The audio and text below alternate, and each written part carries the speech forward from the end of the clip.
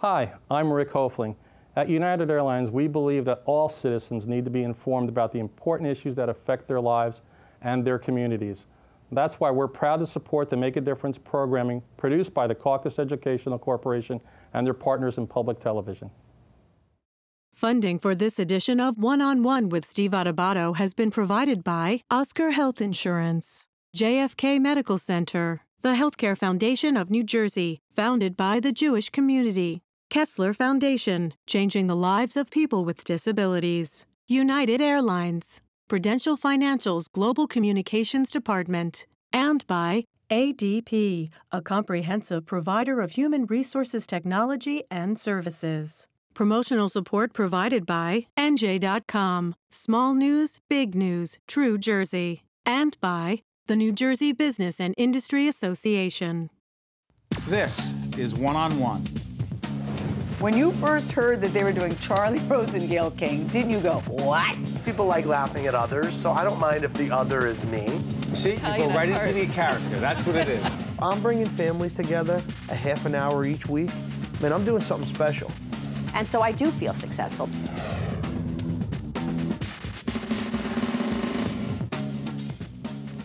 Hi, I'm Steve Adubato. It is my honor, my pleasure to introduce two very distinguished gentlemen, Dr.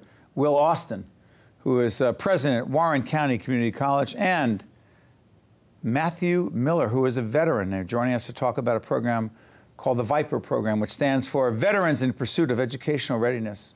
How you guys doing? We're doing well. How are you? Good, good. Tell us what this program is.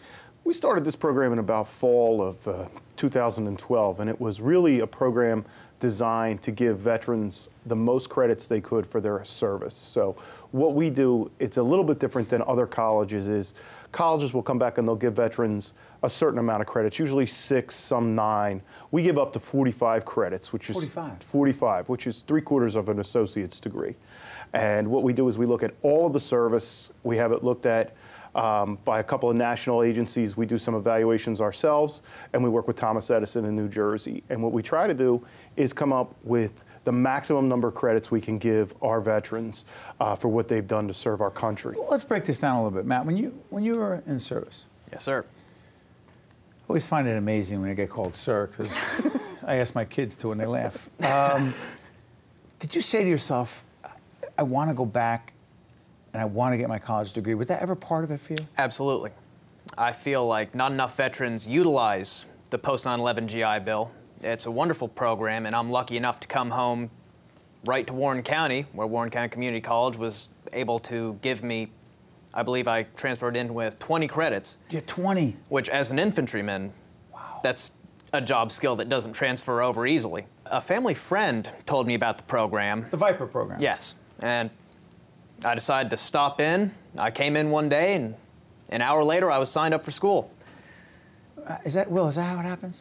Yeah, I mean that's that's the basic goal. What we do is we have a special office dedicated to our veterans for the VIPER program. There's a special office dedicated to helping these men and women pursue the college careers. Absolutely. And we don't, it's not just for Warren County, it's for anyone anywhere in the world. And a lot of our servicemen and women can actually finish the degree online. We just graduated someone this past Saturday who came all the way from Virginia and took all of their classes online, a veteran. From your school? From our school, yes. Here's what I like to tell people about the program that's really important to remember we're not giving anything to our veterans. We're recognizing what they've already earned. So sometimes people say, oh, this is really special, you're give. There's no gift. Mm. These veterans earned every single credit they get, if not more. And what we're doing is we're honoring that service by recognizing that academic credential. Because let's mm. face it, they come back a lot of times and they want to get a job. But an employer doesn't know how to translate military service but they do know how to translate an academic degree okay. into employment. So let's do this. Let's break down because a lot of folks are saying, "Hey, I would love to help, you know, a veteran as well, and they're great that you're getting uh, the college uh, degree, but the credits first. But I'm sure people are asking because I was curious about this too. How do you actually equate that military experience to college credits? Like, how does how do they? What equals what? Well, every branch of the service is different and every everything that they do is different. So there's a couple of national agencies, the Joint Military Transcript, the ACE, the American Council on Education, These all accredited Thomas organizations? Edison, all accredited. They've looked at different various uh, kind of entities in the military. So everything from basic training to specific training can be applied towards a degree. So Matt was able to actually get a degree in business. Now, you, when you think military, you wouldn't Yeah. think that that would be your Well, degree. what, what did he have coming in to get the 20 credits? Did, did you know what it was you had done in the military that got you the 20 You, credits? you take a lot of classes in the military. To get promoted, you have to constantly take classes, so a lot of those equated over. Like Dr. Austin said, uh, basic training transfers over. the training does as well. Why? Why the training? Well, Matt's a Marine, and we actually, myself and another person, uh, when we started the Viper, actually went to Parris Island and spent three days on the island looking at what they were doing. And I think here's did the you go mo- through the training? No. Do I look like I can make it through the training? I couldn't either, so. What the- we we did some simulations. They got to actually see we it. got to shoot the guns. We got to uh, uh, jump, rappel the wall. Oh, you did? Oh yeah, we got to go in hand-to-hand combat as as with one of the Marine trainers. We did all the fun stuff. Matt will tell you we got to be bit by the sand fleas a little bit, but Matt will tell you what we do is kind of a joke compared to what, what But there- there's obviously. A lot of mind stuff going on there, Well, those too. are all the physical things. What was surprising to me was the amount of in what literally is classrooms on Parris Island, in classrooms education that these young men and women go through when they're going through basic training. It's probably we give six credits for Marine Corps Parris Island Hmm. training, but I can tell you based on what they go through, that's probably an underestimate by some of the national organizations. I mean, they get leadership training, they get training Absolutely. in um, how to deal with personnel issues. I mean, there is a ton of training that goes on in the military that you just don't naturally think of. You think of somebody jumping off the side of the wall. You think of somebody shooting a, shooting a rifle, but you don't think about the amount of in classroom type of training they go through. I through. think to myself, business, um, I've often said this to people on the air, they know I do a lot of leadership training. I'm writing a book called Lessons in Leadership, and I'm asking myself, how is it that what you're doing is not leadership? How is it that being in the Marines is not about leadership? It is. Absolutely. The Marine Corps puts a huge emphasis on small unit leadership. I believe when I was 19 years old, I was already in charge of four or five guys. You, you're not going to get that out in the civilian world. But that's why uh, a program like the Viper program, it really helps because, like Dr. Austin said, that doesn't translate well. Yeah. Where are you right now in the process academically? I uh, f- just finished, got my associate's degree in business, Wow. and I'm going back for the nu- nursing program at Warren County Community College. That's I want to get a job with the uh, VA. Congratulations. Thank you. By the way, anyone watching anywhere in the tri-state area on public television or FiOS, they want to find out more about it. What you do we just do? go right to the website warren.edu and you click right on the. Viper button, and it's right the on Viper the front button's page. right there. Yeah, absolutely. Tells you everything you need to know. Absolutely. How great has this program been? Uh, it's probably th- my favorite thing that I've ever been part of in higher Why? education because it's the chance to do what a community college is supposed to be doing. It's not only putting people into the classroom and going through that, but it's credentialing. It's looking at what they did in their life and their competency base and saying, this is where you are. We found you where you are, and these are the credits you've earned in life. And we look at the Viper as a way to expand everything we're doing in that area into the future. Matt, advice to some of your uh, colleagues watching right now. Use the GI Bill. It's there. Everybody wants to get out and jump right into the workforce. It's 2015. You're not going to get anywhere without an education. What's his future like? Very bright. He's going to change the VA for us. The Veterans Administration. You think a guy like him, with his leadership skills, with his educational background, with his commitment, has the ability to do And it? his military background, absolutely. Boy, do we need it. Uh, Dr. Will Austin, president of Warren County Community College, and uh, Matt Miller, uh, a Marine who has uh, had made a difference and served our country, by the way, on behalf of everyone on public television. Every time we have someone who has put his life on the line for our country, we say this, and I, I know you know we mean it. Thank you for your service to the country, and we wish you nothing but the best. Thank you, sir. I appreciate Thanks that. for having us. Thanks, Steve. guys. Um, stay with us. We'll be right back right after this. Thank you very much. To see more one on one with Steve Adubato programs, visit us online at steveadubato.org. If you would like to express an opinion, email us at info at caucusnj.org. Find us on Facebook at facebook.com slash Steve Adubato, PhD, and follow us on Twitter at Steve Adubato. When injured service members start the journey home, Wounded Warrior Project is there with everything from a backpack of care items to lifetime support and caring.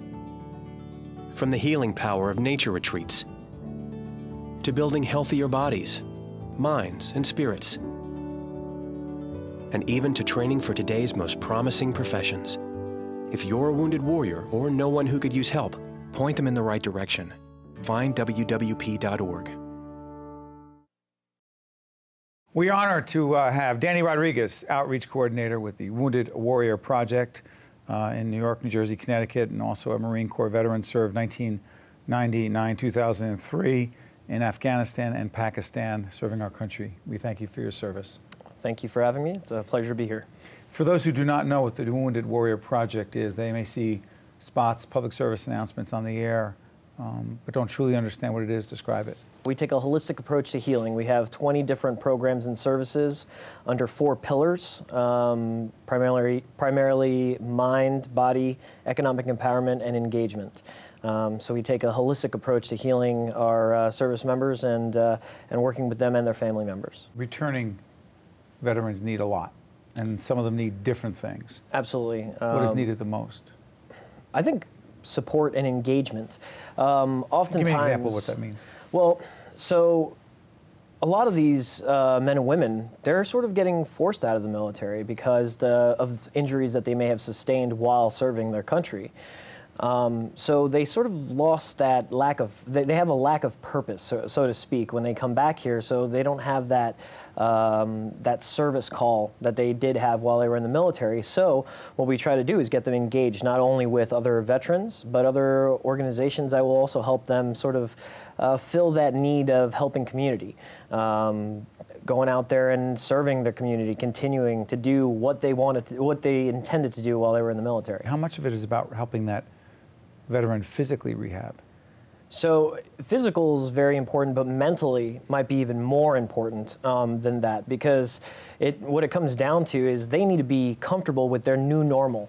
It's never going to be the same as it was before. And what we say is, is they have to be comfortable with their new new type of normal that they'll have in their life. So that means maybe they were active in skiing and and, uh, and snowboarding. Well, instead, and maybe they did lose a, uh, a leg or, or an arm. Well, we have adaptive ski programs to help them show them that they're still capable of doing all the things that they were doing before. They just have to change it a little bit and uh, you know get comfortable with their new normal. Why did you decide to get connected to the Wounded Warrior Project? Well, they sort of found me. I uh, went down uh, a little road, and that uh, a lot of us do. I didn't have the support system when I got out. It was 2003. The Wounded Warrior Project and organizations like it were just getting started, um, and uh, so I, I, I, sort of lost my way a little bit and uh, did a little self-medicating um, and uh, got into a little trouble.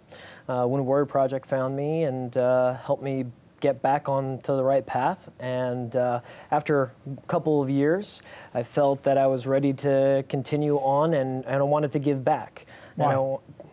it was sort of what was built into me. I think everybody that serves in the military has sort of a, a call of a calling to duty. Um, just because I mean, to each you, other, to not each other, just to everyone. I mean, to the to the to this nation. Um, you know, only 1% of the U.S. population serves in the military, um, and that 1% still has that, that call, that calling of, of duty and, and esprit de corps that they want to continue to continue to develop throughout their life. Curious about this. We've been asking people who are in leadership positions like yourself what the most important of all the leadership lessons you've learned in your in your life so far, not only in the military but in this role with the Wounded Warrior Project. What would you say the most important leadership lesson that you've learned so far is? I would say Semper Gumby. Um, so Semper Gumby uh, in the Marine Corps, Semper Fidelis, always faithful. Semper Gumby meaning just like Gumby, you have to be flexible. Um, in, and that rings true in the Wounded Warrior Project. We have over 20 different programs, but a saying that we have inside is that every program is a pilot even our programs that have been around since the conception of the Wounded Warrior Project are still considered pilots because we need to be able to adapt to our surroundings, to the changing environment of the veterans, uh, to everything, um, so that we have to be able to always be flexible. Always be flexible. Always be flexible. You have, you have a plan, you got to work that plan, but. But you might have to get there a different route than you initially intended. What's the track program? Track programs. Uh, it's one of our marquee programs, very unique to uh, any service organization out there. It's a uh, education program, um, unlike any other, where we actually relocate veterans that are interested in pursuing higher level education to uh, one of two locations at this point, Jacksonville, Florida, or San Antonio, Texas, and they'll go through a cohort. Uh, with a cohort of fellow men, women, of. of of servicemen and women that have served in combat. It's for combat veterans that maybe want to get back into that uh, education line and uh, need a little bit of help along the way. So they sort of it's sort of a military boot camp, so to speak, of uh, education. So they get out, they have learned new uh, learning techniques, new studying habits, and they learn how to sort of progress through that education education piece of their life. You know, there are veterans watching right now. There are um, now family members of veterans, you know, who care very much about them. What advice would you have for them right now?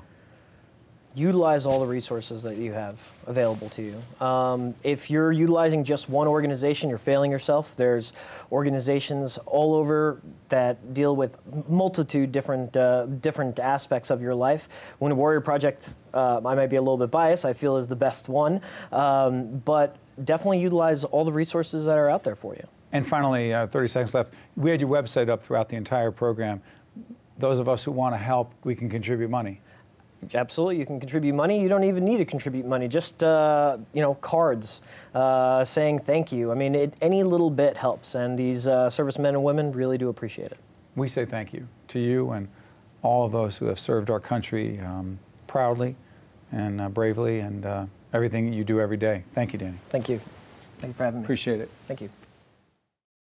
To see more one on one with Steve Adubato programs, visit us online at steveadubato.org.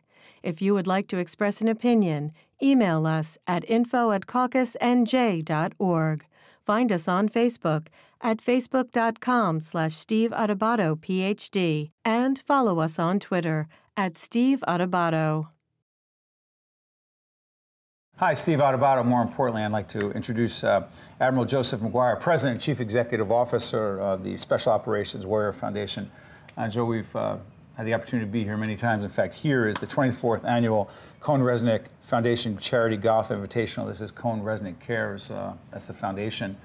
Cohn Reznick, great organization, raise money every year in this golf outing for your foundation and also the uh, Joe Torre, the uh, Safe at Home Foundation. Tell folks about your foundation, what it is, and, and who benefits from it. Well, uh, thank you, Steve, and I really do appreciate Cohn Reznick and all the folks who come out here and, and support the Special Operations Warrior Foundation.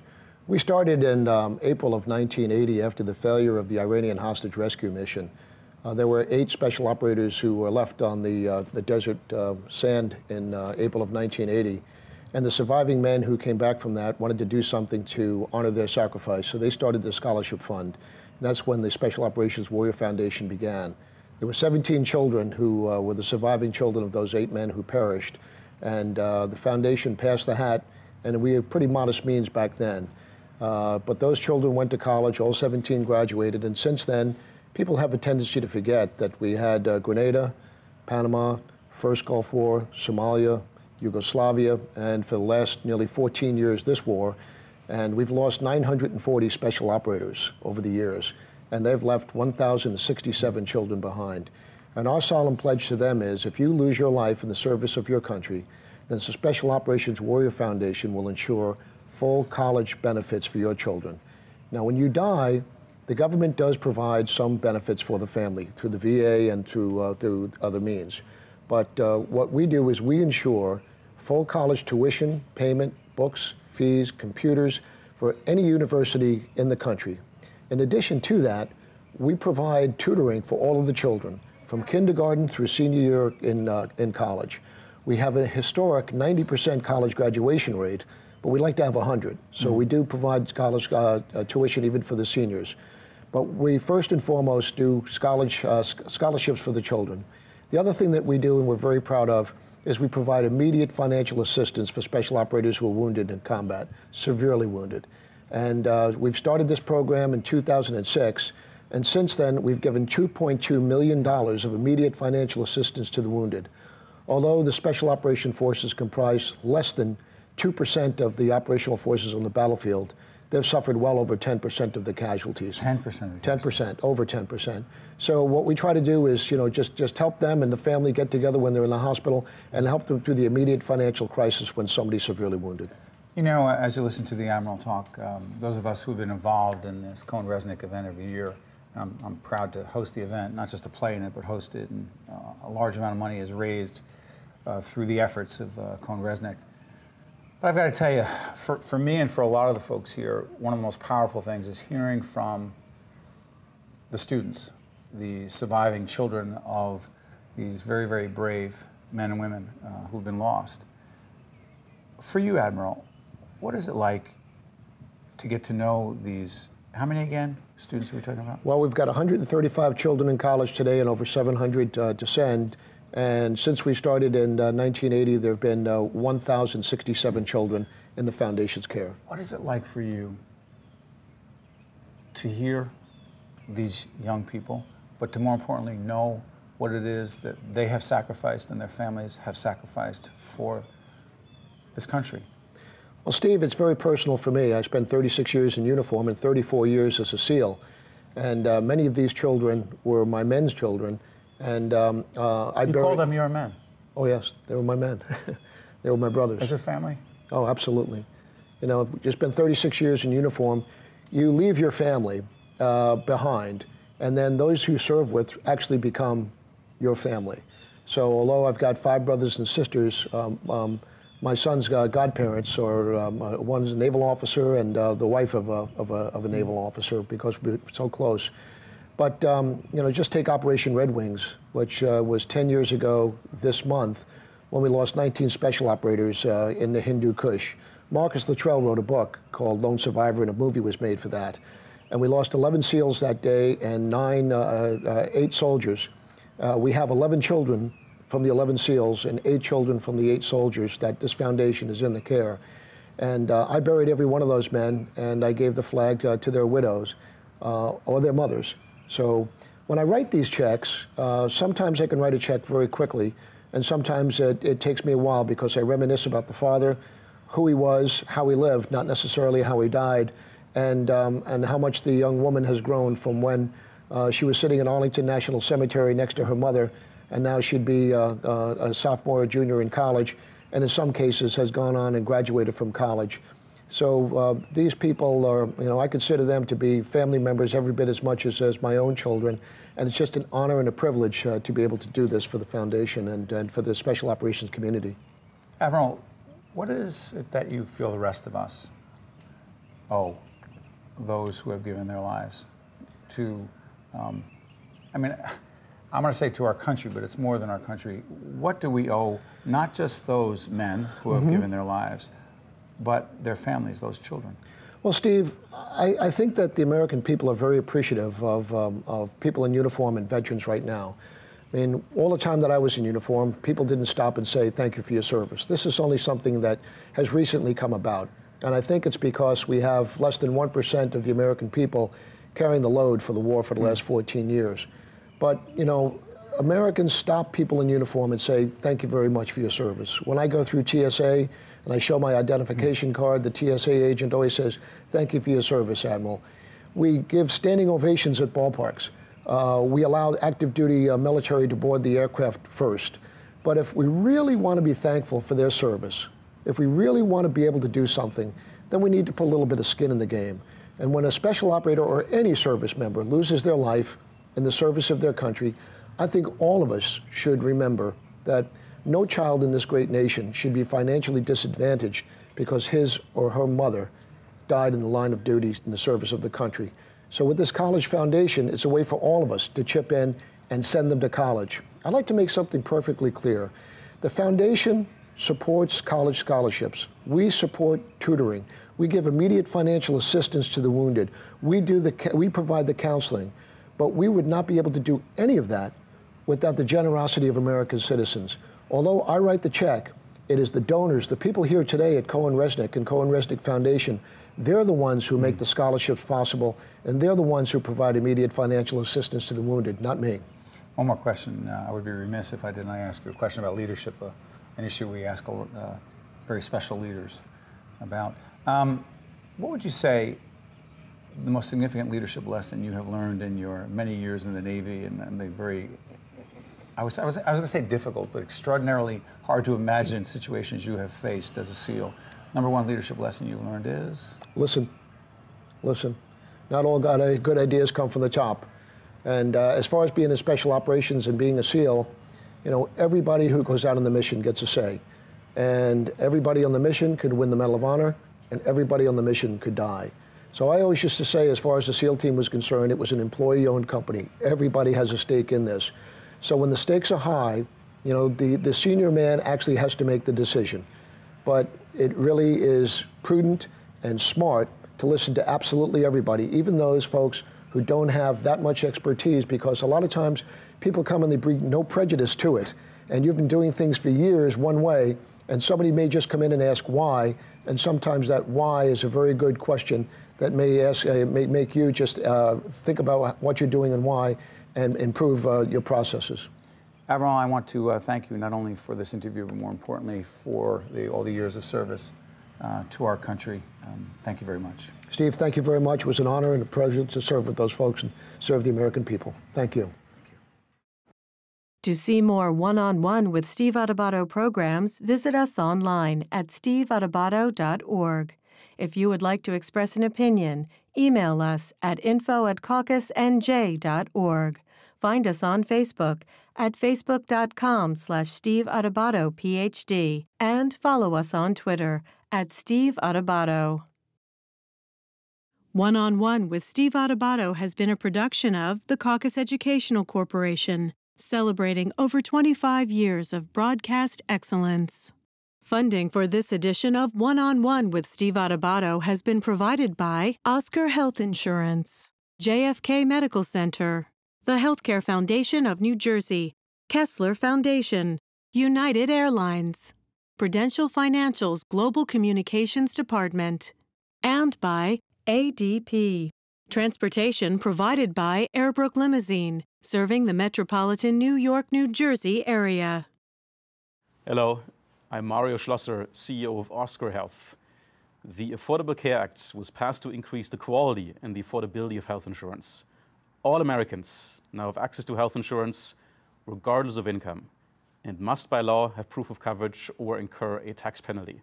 So please be sure to sign up during this year's open enrollments. Visit www.healthcare.gov and find a plan that's working just right for you.